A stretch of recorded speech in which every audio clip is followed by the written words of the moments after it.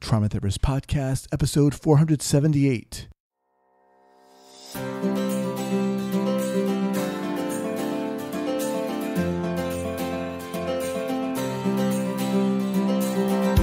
Right, guys, welcome to the Trauma Therapist Podcast. My name is Guy McPherson. My mission is to raise awareness of trauma and to support new trauma therapists just starting out on the trauma informed journey. I do that through this podcast and my membership community, Trauma Therapist 2.0. If you're a therapist of any kind interested in learning about trauma and you're looking for support and inspiration, I invite you to check out Trauma Therapist 2.0 by going to traumatherapist2.0 traumatherapist.com. That's traumatherapist, the number two dot com. All right, let's get started. All right, folks, before we get started, I want to thank my sponsor for today, Somatic Experiencing. Are you in a helping profession and looking for a new tool to treat clients? Somatic Experiencing, developed by Dr. Peter Levine, is a potent psychobiological approach to resolving the symptoms of trauma and chronic stress offered by the Somatic Experiencing Trauma Institute. The SE professional training program enables you as a practitioner to empower your clients to learn tools that develop resilience and manage stress long term. If you'd like to learn more about how somatic experiencing can help you empower your clients, you can check out the SE Basics webinar at no charge by going to traumahealing.org slash trauma therapist. Once again, go to traumahealing.org forward slash trauma therapist before November 30th. All right, so five, four, three, two, and one. All right, guys, welcome back to the Trauma Therapist Podcast. Very excited to have today as my guest, Dr. Don Wood. Don, welcome. Thanks, Guy. How are you? All right, I'm doing well. Ready Good. to get into it. Looking forward to talking to you. Um, so, Dr. Don Wood developed the Inspired Performance Institute after spending years research, researching how trauma affects our minds and our lives. Dr. Wood began to understand that events and experiences throughout our lifetime continue to play a role in how we experience life in the present. He also realized that there was a better way of treating the issue. Teaching people to live with, manage, and cope with the daily stress doesn't fix the problem. The solution comes from understanding its source and providing a long term permanent solution. Dr. Wood's background experiences come from spending time in the for profit and non non-profit worlds excuse me this combination provided a unique, unique perspective on problem solving he used these skills to develop the inspired performance institute and the neuro xp program all right. Don, welcome. Uh, before we get going here, share with the listeners where you're from originally and where you're currently residing, and then we'll dive in. I am originally a Canadian from Toronto, Canada, and um, we moved down to Florida almost 30 years ago. Okay. And so I now live in Orlando, Florida. Nice, nice. All right. So, you know, we're recording this. The uh, epidemic, COVID is still happening. The riots are happening. Um, you know, before we started recording, you asked me how I was doing, and I'm in Oakland here, and it's uh, it's crazy. Um, how are things where you are? It's actually it hasn't been too bad. There's been a little bit of um, rioting. Most of it has been in Miami. I think they've had a bigger problem down there. A little bit in Tampa uh, but nowhere near where some of these cities are seeing. It's it's right. really a shame how all this destruction. This was such a great opportunity for everybody to come together, and it, it seems like we're getting more and more divided. It's a shame. Yeah, yeah, and it's traumatizing. not, not you know, Absolutely. not to uh, mention the obvious here, but um, so let, us get into what you do specifically and let's start by you know i, I talked a little bit about in your bio how your previous experience was in the for-profit sector and the non-profit profit sector. How did things unfold such that here we are right now? Well, really, where it started was um, I talk about my story and then my wife. Um, I grew up in this idyllic childhood where I had a very loving family, very nurturing. So my nervous system was constantly regulated and like I said, I'm from Canada. I played hockey, so I wasn't a kid that would get bullied because I knew how to protect myself. So I sort of skated through my childhood without realizing that a lot of my friends were not experiencing life the way I was. Mm-hmm. They were dealing with a lot of trauma, abuse, physical, sexual, emotional. You know, I wouldn't see that in their family because if I went to my friend's house, everybody's on their best behavior. So you don't see that dysfunction and they don't talk about it. And when I met my wife, I was 18 and um, she was 18 as well. And so I saw that there was something going on in that household. And then before long, we got married very young. I had a chance to play professional hockey in Sweden. So we got married at 19. But I quickly saw that she was living in a very, very different household than I grew up in, with a very angry, dysfunctional father. So she was constantly living in fear. And I thought to myself, well, this will be okay because when I get her out of that household and she's living mm-hmm. with me, everything will calm down. and it didn't. So it didn't matter what I did. I could speak calmer. I could I try to choose my words better, you know, because I was very sensitive to how I could make her cry so easily. And I was never intending to try to do that. And I couldn't understand why it wasn't calming down. And what I realized is that this trauma was creating a loop. And so trauma gets gets basically stored in high definition. This is what I, I call it. When we have memory, we're the only animal on the planet that stores explicit details about events and experiences. All that information is stored.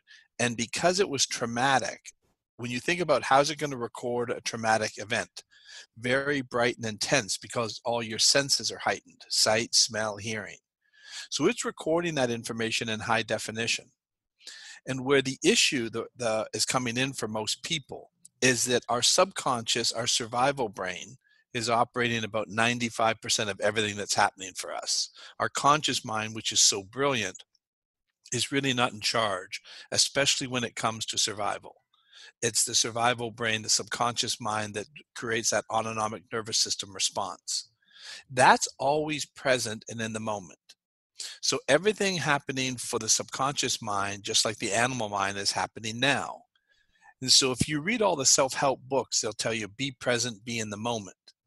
However, our minds don't work like that because we keep getting pulled out by this traumatic memory that's looping. And so that would then take my wife out of staying present, and she would be in, without realizing it, looking at a whole bunch of traumatic information in order to respond to what is actually happening now. So this flood of data was constantly coming in that she didn't realize. So, for example, if I said something like, No, I don't like that, she could start to tear up and say, Why are mm. you mad at me? Mm-hmm. And I would say, Honey, I'm not mad at you. Why do you think I'm mad at you? And she'd say, Well, the way you said it sounded like you were getting mad. Now, what had happened as a child, she had learned to listen very, very carefully to the way her father spoke. And if she heard that there was a slight change in elevation or inflection in his voice, that meant that he was starting to get mad. And so that was her time to protect herself. So when I would say, No, I don't like that, if she heard the slightest change in my voice, mm-hmm. vocal tone, her mind would then start pulling up a whole bunch of information from her childhood. And this flood of data would come in and totally dysregulate her nervous system. So I kept thinking it was what I was saying that was affecting her, and it wasn't. It was all this traumatic data flooding in at the same time. That's when I realized what the problem was. And the way we teach people is to live and manage and cope with it but that's not the solution. The solution is right. to get to the underlying root and get it updated and reset. So when this was going on, when you first of all, you talked about, you know, your childhood contrasted with your wife's childhood, her household, it sounded like you were sensitive uh, to to realize what was going on in her home because a lot of people don't pick up stuff unless you know stuff is happening that's right in front of you. Um, and then also when uh, you guys got together and you got married, you noticed certain things were happening. So were you? Did you have another a, a particular job at this point? Uh, I'm curious no, how things unfolded for you in terms of uh, professionally, how you got into this field. Well, not really, because I was in the financial services business. I was always an entrepreneur. Okay. And then when we moved down to Florida, we started a nonprofit organization dealing with a lot of people who had experienced. Because I always said to my wife, I know you're going to be able to use this for something, right? This is going to help other people, other, you know, but she did not have that strength to be able to do that on her own. So we started a nonprofit that worked with uh, missing children to try to help parents who had lost a child because that's mm-hmm. trauma. And so that's what started it all. and we were able to help a lot of missing children and then we said you know we need to help more people than just missing children so it got into you know people who dealt with trauma and that's what really started me on the research as to how trauma is affecting people on a day-to-day basis and that's when i realized that trauma is actually creating inflammation in the body the inflammation is affecting our immune system and our neurotransmitters so people are getting sicker because their immune system's compromised. That's why so many abuse victims have autoimmune disorders because their immune system is compromised. And whenever you're in that constant fight or flight state, your mind is not doing maintenance or it's doing minimal maintenance. Mm. That's why they're getting sicker. And then they're not feeling good because their neurotransmitters are compromised as well. So they start experiencing anxiety, depression, all kinds of different things because the system is dysregulated. It's not meant to be like that. So your fight or flight response is an emergency management system. But for my wife and for so many other people, it's become an operating system. It's turned on almost all the time. My wife would be looking for danger everywhere. Wow. And especially people who have had trauma are so sensitive to sounds and noise. So if you notice when people have experienced trauma, they'll be very, very sensitive to anything loud, a loud noise. They hear things completely different than I would have. So even though my voice to me didn't change at all, to my wife, it was like I was yelling. As mm-hmm. soon as my voice pattern would change a little bit. So I could have been maybe frustrated from something at work that day. I come home, I'm not mad at her at all right? But I've got a little frustration in my voice just because that's how we deal day to day. And that would come across to her as very hurtful, as if it was directed at her. Right, right. Wow. So you uh, switch gears from uh, helping kids out to developing was this first iteration the Inspired Performance Institute? But yeah, it actually okay. was. So and I studied. What the was the goal first. there? What was this? Okay, go ahead. You studied trauma first. Yeah, to try to figure okay. out how is the best way to deal with this. What are they currently doing? How can we make it better? Okay. And what I realized is everything is all built around management of the problem, managing anxiety, managing depression, managing panic attacks. And what I realized is if we could get the mind to reset that traumatic information, we could change the response. The problem is it's a glitch, it's an error message. The mind is actually seeing that data in real time. Mm-hmm. So I worked with uh, uh, Rebecca Gregory from the Boston Marathon, and Rebecca was three feet from the first bomb at the Boston Marathon. So when she first sat down to talk with me, she uh, started to talk about what had happened that day, and she was shaking and crying. And I said, Rebecca, do you know why you're shaking and crying right now? And she says, Well, because I'm telling you about what happened to me. And I said, Correct, but your mind thinks there's a bomb about to go off. It's seeing this information in real time. So, what I always say is anytime you have an emotion, a feeling, a sensation, your mind is calling for an action. The purpose of fear is to run or escape from a threat. The purpose of anger is to attack a threat. So if you talk about something that happened to you five years ago or 10 years ago, and you feel those emotions, your mind is actually thinking that it needs an action to stop it or to escape. Does that make sense? Well, it makes perfect sense. Yeah. I mean, it's reminding me a lot of what Peter Levine is talking about when he was talking about um, uh, animals you know when when they were traumatized they they're able to run to to express that uh, need that the, the body has. And oftentimes, when humans are traumatized, they don't have, when they get traumatized, they don't have that ability to oftentimes fight or flight. And so, a lot of the treatment in, in that case, body based work, is, you know, uh, expressing that or working through that in a sense. Um, so, so go on here. So, what happened with her? Uh, with Rebecca or my wife? No, Rebecca. Rebecca. So we went through the program. It's a four hour program. And what I'm able to do is to get the mind to reset that information. So instead of, so I'll start off with, I can even, I can even ask you, can you remember what you ate for dinner last night? Yes. Okay. yes, I can. So, so, tell me what you ate for dinner last night. Well, our I have to preface this by saying our our gas was shut off. Our gas got shut off because a plum from our plum tree fell down and hit the emergency uh, oh earthquake God. shut off valve. So anyway, That's we came hysterical. home, didn't have gas, so we cooked pancakes on our electric griddle. so and people now because this is on on zoom they'll see it when i asked you that question you looked up and you saw pictures right of where you were or what you ate. Yeah yeah. Yeah that's how you stored the information about what you ate for dinner last night. No animal can do that. They don't store that kind of detail. Now because last night wasn't threatening or disturbing it was stored as a fairly low resolution file right? Not a lot of detail. Right. Had that been a threatening event, mm. your senses are much more in tune. So we take in a lot more information, a lot more data during those kinds of experiences. So everything is very intense, tremendous detail to it. So what happens is that's that high definition. What I what I'm able to do is during that 4-hour session is to get you into an ability to reset that information into the same format as what you ate for dinner last night. Mm-hmm. And as soon as that happens, the mind no longer calls for the action because it doesn't feel threatened by it. It's just information.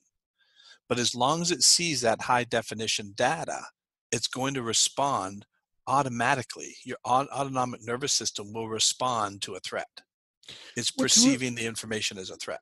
Yeah, I mean, as you're talking, it, it, it's very interesting to me, Don, because you know I'm thinking about all the different trauma treatment modalities out there, right? Whether they're body based or cognitive based, EMDR, et cetera, et cetera. Mm-hmm. So, how did I guess with all that, you know, you said you you went to school, you started studying trauma. What made you say, okay, well, this I'm not seeing the treatment here, I'm not seeing the treatment there. How did you get to uh, this treatment treatment modality, and what is it called? All right, folks. I want to thank my sponsor for today, BetterHelp. They're at betterhelp.com, online therapy platform. So I have a question for you. Is is there something, anything that you feel that's interfering with your happiness or preventing you from achieving your goals right now? And you're probably saying, well, yeah, of course, guy, we're living in this crazy, unprecedented time. And for me, it's the same. It's the same. Yeah, of course, that's it. But there's also um, a lot of you know that I've struggled with anxiety throughout my life. You know, it's it's come and gone, it's waxed and waned, and I chose to see a therapist to help me work through that. And I'm not completely free of it, but I want to invite you to check out BetterHelp.com. They're an online therapy platform that will help you assess your needs and then match you with your own licensed professional therapist. You can go online, log into your account once you sign up, and send your uh, therapist messages. You'll get back timely, thoughtful responses, and then you can set up uh, weekly sessions either via phone or video. And the, one of the great things about this is that you know a lot of us don't want to get into therapy because we feel, let's face it, we're not going to uh, have a good match or they're not going to listen to us or it's just not going to be a good fit. BetterHelp is committed to finding you, to matching you with someone who's going to be a great fit. So they make it really easy to change therapists if you need to, and there's no fee for that. You know, they have a lot of uh, testimonials up on their website. That's it's kind of crazy because there's just so many of them, and I just want to share one here. I think it's pretty cool uh, one person wrote in about their therapist. They said, I highly recommend Sharon as a therapist. She listens with no judgment and offers immediate support and suggestions. I feel safe with her helping me because I know that she is solution oriented. She's clear, serious, and she's also kind. Not bad uh, testimonial there. So, look, as a trauma therapist podcast listener, BetterHelp is offering you 10% off your first month when you go to betterhelp.com forward slash TTP. That stands for Trauma Therapist Podcast. So it's betterhelp, H-E-L-P dot com forward slash TTP to sign up. You can join the other 1 million, over 1 million people doing the same thing, taking charge of their mental health and uh, making it happen. All right. See you there. Bye. Uh, tip T I P P. We call it the Inspired Performance Program. Tip. Okay. So how did you get to the point where you're like, wait a minute, this needs to happen. Things need to be treated a little differently in the, and in this way. Um, it just really came from just sort of experimenting with it, you know. And again, I, I trained in EMDR, rapid resolution therapy, a whole bunch of different protocols, and a sort of, you know, cognitive therapy. And really, what it was was just sort of putting together some really good pieces. Like EMDR is good, but EMDR takes longer, mm-hmm. um, and it's much more intrusive. I can do it much quicker without having to go through multiple sessions and what I found is is that if I can get the session to be longer, I can get more work done. Where mm-hmm. typically it's an hour at a time if you go through typical treatment, whether it's CBT or EMDR, they'll do one session and then you'll come back to another session.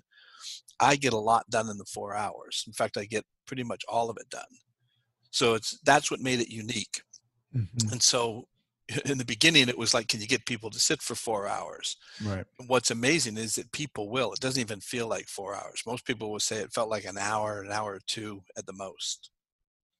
So i mean i realize we don't have a lot of time but i'm i'm, I'm really curious if you can give us a little break this down a little more about what it is you're doing. You're talking about resetting. What does that mean? What does that look like so what would was I spend a lot of time on the education so people can understand first what the problem is.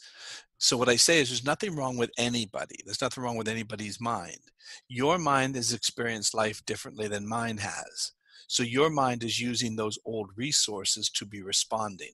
So if you've had a lot of um, trauma, which is what my wife had, that the mind never felt safe because it was constantly feeling fear. Mine didn't have that. Mm-hmm. So it wasn't that I couldn't have a bump along the way or a bruise, right? I call those emotional concussions. You know, they're not traumatic events, but they're bumps. I could heal much quicker because I was able to um, get back into that present state.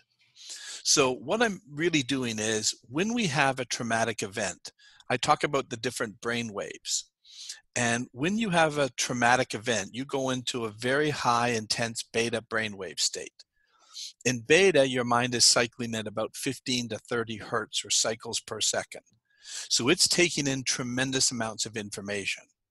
When it's in that state, because it's stored all this um, data about the event, when I have somebody in that four hour session, I'm able to get them into an alpha brainwave state. And alpha is a very, very relaxed focus state, and it's cycling between 7 and 14 hertz. That's the state they believe Albert Einstein lived in most of the time. Hmm. So it's very relaxed but super focused. So what I'm able to do is by having them in an alpha brainwave state, we then bring in the memory that's been stored in beta. And when we do that, the mind is able to reprocess a beta memory, very intense, into an alpha brainwave state. It takes a lot of that intensity out of it. And now it becomes stored as an alpha memory, which doesn't feel threatened because it's taken all that intensity out of it. And a lot of times people will say to me after they go through, I'll, I'll take them through a t- probably two or three different events. I don't have to do all of them.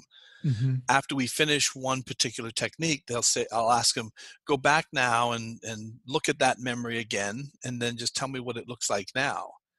And a lot of times people will say, you know, it's really almost hard to see. You know, it's mm-hmm. just sort of like, yeah, it's there, but there's no real I'm not feeling the emotion anymore. That's what we're going for because the only purpose to that emotion was to get them to do something about something that's not happening. Mm-hmm. Right. And so I said, that doesn't make sense. So if you have a, um, a memory that you feel an emotion, that means it's still active. The mind is not okay with it and it wants to do something about it, but it can't do anything. So, for example, with Rebecca the runner, uh, when you were sitting with her, uh, she was feeling kind of activated, and you were like, you, your mind or your you want to act. How did that? Uh, what did you do in that situation, or what did she do in that situation? So she'd never thought of it that way. You know, what we sort of respect emotions, that emotions are, you know, well, it's okay to have an emotion. It's okay to be, and I say, yeah, it's okay to have an emotion if it's appropriate to the situation. Mm-hmm, mm-hmm. If there's a threat and you feel fear, that makes sense that you're feeling fear. There's nothing wrong with that. But if you're feeling fear, when you think about, like with Rebecca, it had been five years since the Boston Marathon bombing, and she actually wasn't a rudder, she was a spectator. And so what she would be feeling is that fear because her mind thought something was happening. So once I go through all the education of what's happening, and I say, there's nothing wrong with you having this fear because of the way your mind has stored the information. Let's reset that information. I mean, Hollywood has made trillions of dollars on that, right? Mm-hmm. Why do we go to a movie and cry? Why do we go to a movie and jump? Because the mind sees that information in real time and thinks something's happening, right? Consciously, we can make that determination that the movie's not real, right? But the subconscious mind takes over in a threat mode. So if it feels threatened, it's going to respond. So with Rebecca, I was able to first do the education, which takes about an hour, hour and a half, and then we start getting into some of the relaxation techniques to get her into an alpha brainwave state. And then I take her through a few techniques, particular events. And, and Rebecca had more than just the Boston Marathon, but mm-hmm. most people would think that would be the one that would be the major one creating problems. But she had other stuff as a child, other traumas and it's this cumulative you know compounding effect similar to what my wife had had Mm-hmm. So we went through two or three events, and by the time we were finished, she could completely talk about the Boston Marathon without crying or shaking. She said, "I have a terror nightmare every night." Oh she said, um, "She says I know when I go to bed I'm going to have a terror nightmare, and I've had them for five years." After she went through the program, zero. She hasn't had any more. Wow. My wife would have terror nightmares, maybe one or two a month, nothing like Rebecca's, not quite as bad as hers but I would have to wake my wife up in the middle of the night because she was holding her breath and crying and trying not to make a sound. It was sort of a constant um, nightmare that she would have repeating. After she went through the program, she hasn't had a nightmare. I've never had to do that again for her. So, really, the key is to get the information reset. So we're doing mm-hmm. it the opposite of what they did with the Wizard of Oz and took it from black and white to color. We're mm-hmm. taking it mm-hmm. from color to black and white mm-hmm. and the mind no longer responds. Let me just remind everyone I'm speaking with Dr. Don Wood of the Inspired Performance Institute. So this is really fascinating to me, and it's it's just interesting interesting again to me because there are so many different modalities out there. Um, I mean, you know, you talked about your process of providing psychoeducation, but also it also sounds like what you're doing there it's obviously you're developing some kind of a therapeutic relationship with them you're putting them at ease they're feeling uh, safe right? Slowly at this point their system is uh, becoming less activated hopefully ideally at this time. All these things i think are important to mention too. Um, why do you think this is working as you said faster than something like emdr or uh, other modalities what I, I think it's a lot of it is in the education. When people understand, the biggest fear we have is uncertainty. For for humans, not knowing what the problem is is worse than the problem sometimes. Yeah. And so, because they don't understand why they're experiencing this, why do I feel angry all the time, or why do I feel scared all the time? When I explain how the mind works, and then they go, that makes so much sense. I've never thought of it that way. Then you say, well, the solution is this. It makes so much sense that the relaxation just comes in naturally. They're mm-hmm. ready to have it, um, you know, get healed. And what I always say is the mind and body are designed to heal. So what is interfering with it healing? It's this glitch the way and so if you go through say cognitive behavioral therapy can that help Sure, but it takes long time because you're only getting little bits and pieces done over a longer period of time. What I'm doing is very intensive, but it feels very relaxed. And the great part about it is I don't have to have them share a lot of information.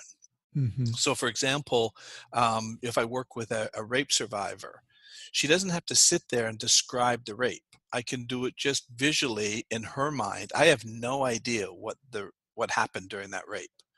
I can clear that without her having to share one word. Mm-hmm. So that feels very very safe. but visually or in memory, she's re-experiencing it. She's re-experiencing okay. it, but she's doing that now from an alpha brainwave state. So she'll be experiencing the memory in that beta state, but she's also in an alpha brainwave state, and it very so frequencies will align. So that higher frequency will come back into balance as the mind reprocesses that information in a very safe environment. Mm. And the thing that's interesting is I've done this uh, I have an online program as well, which is exactly the same four hour program, but you're just watching the videos. So it's not even that personal one on one with me, and it's working very well. I've also done it in groups where I have large groups of people and I can take them through the same process, and wow. that works. Wow. So to me, really, what it is is the four hours, the education, right? Getting the person into that state. There, what I always say to them is, your mind's doing all the work you know it's like coming in with a broken leg i reset the leg right? What did i do? I just reset the leg right. right? I didn't heal it. Your body your system healed it. All we had to do is get it reset and that's what i'm doing in this process. So you mentioned your online program. Where can people access that?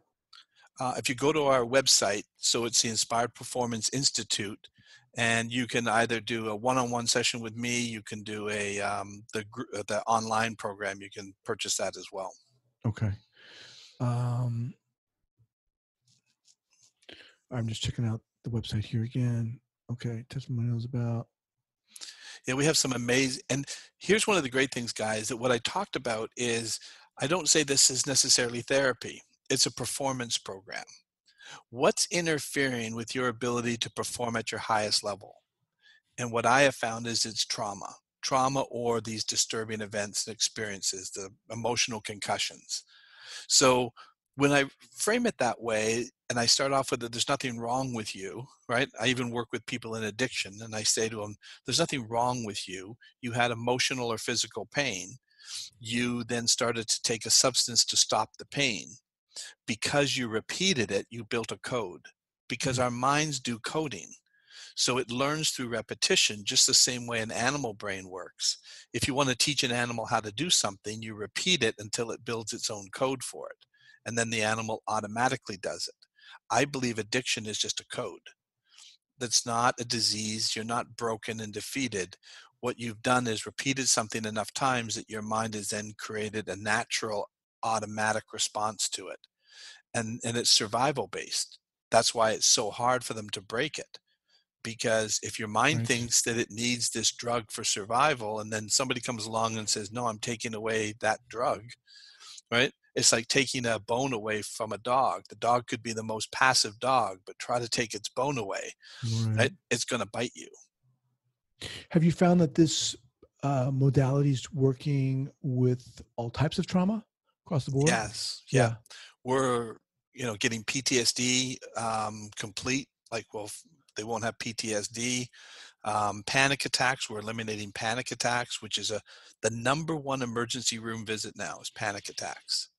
And after people go through this program, we've got, if you look at our site, you'll see a lot of testimonials of people who have had anxiety, panic attacks, depression, that I believe what depression is, is that the mind has been calling for an action. So, say, for example, if somebody comes in who has depression, I'll say, What are you angry about?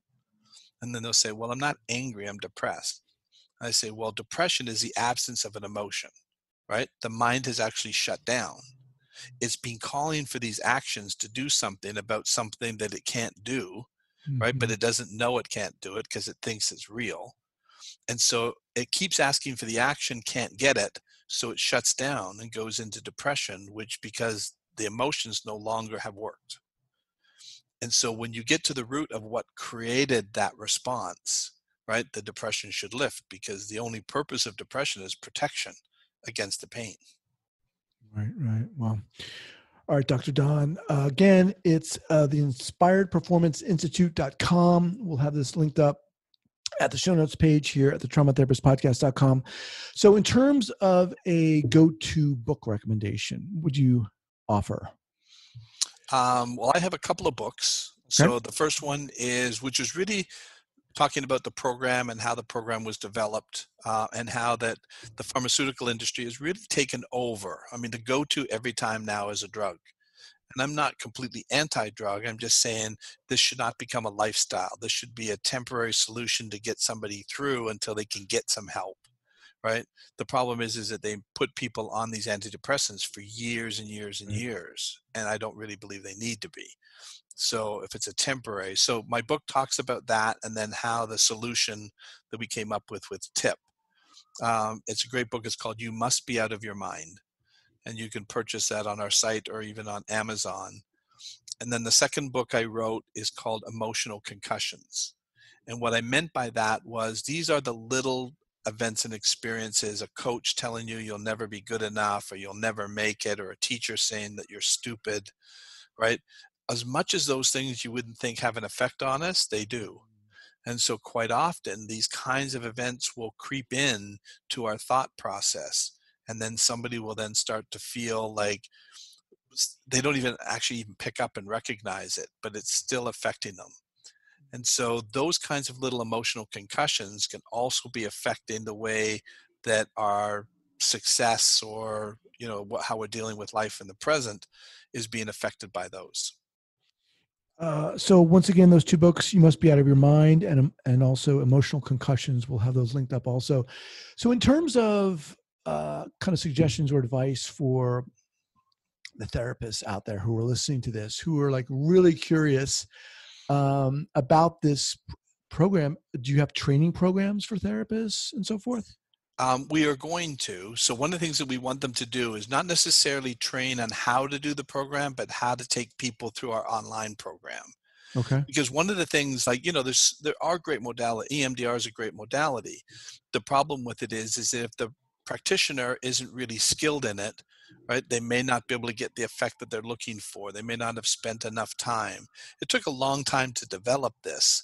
And so, even they may be a skilled practitioner in many other areas, there's a certain vocal tone and pitch and pattern and everything to this kind of a program. And that would take some time to learn. Mm-hmm. So I thought the best way is to give them the tool, which is me taking them through an online program, and they can then just take their, you know, their client through that. Okay. And that has worked. We've been testing that out a little bit, and that seems to be working very well. So they would be trained on how the program works, why it works, and how to take them through it. Got it. Got it. All right, Don. Uh, exciting stuff here. How long have you been doing this? Started training in it about 2009 okay. and um, so you know 10 11 years. Awesome awesome. Well um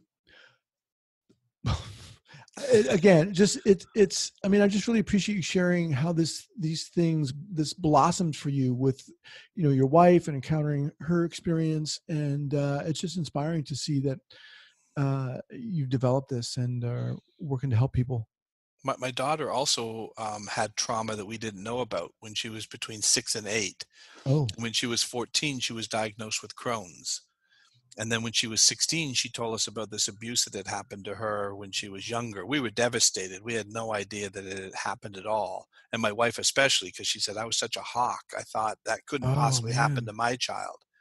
So my daughter suffered really badly with Crohn's she had four resections done on her intestines. She was oh, on a constant daily dose of steroids for years. And then after we started, and this is probably more the reason why we started looking for answers, um, was really for my daughter because they told us eventually she's just going to end up with a colostomy bag. And so as I started studying trauma, I realized I think that her symptoms are coming from trauma. And that's why I say that I believe unresolved trauma creates inflammation in the body. Mm. And so for her, the inflammation ended up in her intestinal area. Now, ever since she's gone through the program, she hasn't had a Crohn's flare up.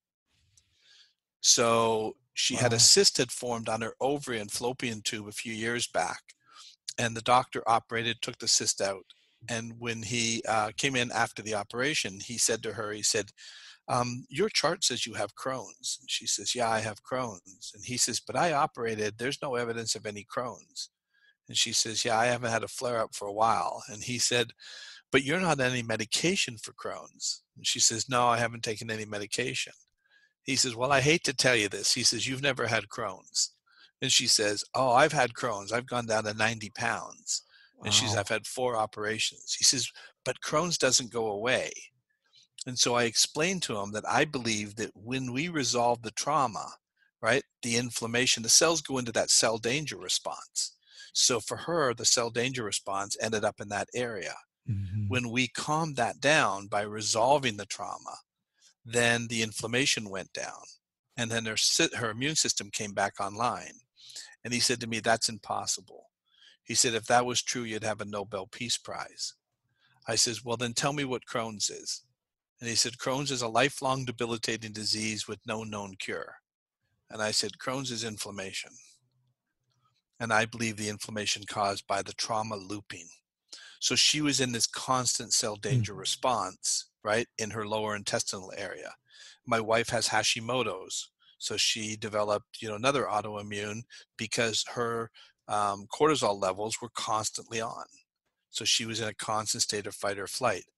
So, so many um, people, and in particular women, have autoimmune issues. And I believe it's most of it, maybe not all of it, but a lot of it, I believe, is coming from this unresolved trauma.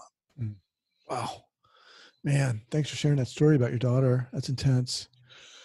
All right, Don. Um, best way for people to get in contact with you is what? Through the website, Inspired Performance? Yep, Institute? through the website. Um, yep, we can respond back if you have questions or whatever.